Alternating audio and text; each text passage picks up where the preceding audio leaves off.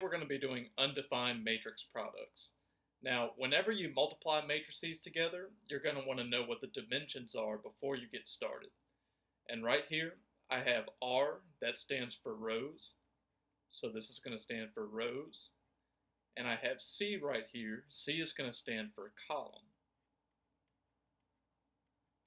So what we do before we start multiplying is we look at the matrix and we ask how many rows does it have and how many columns does it have.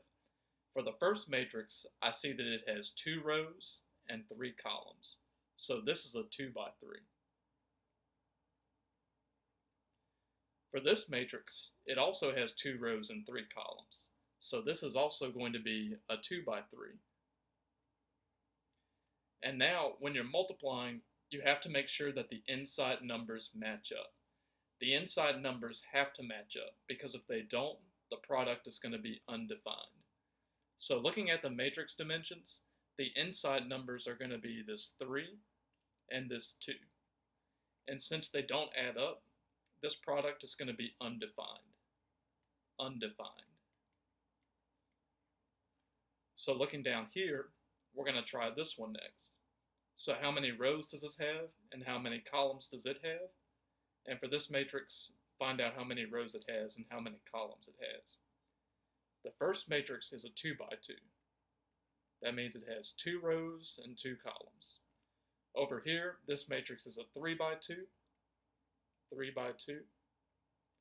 That means that it has three rows but only two columns.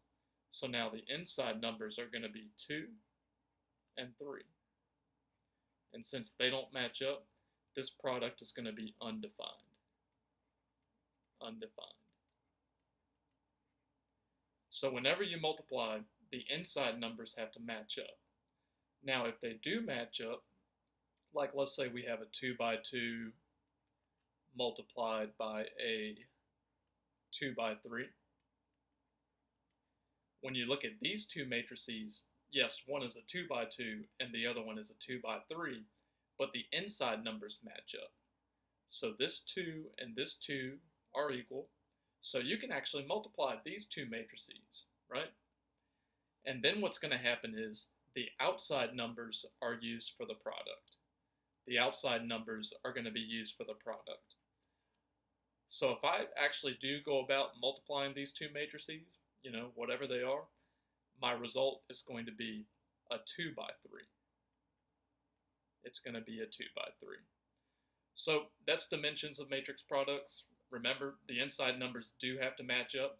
If not, the product is going to be undefined, which means you can't multiply the two matrices together.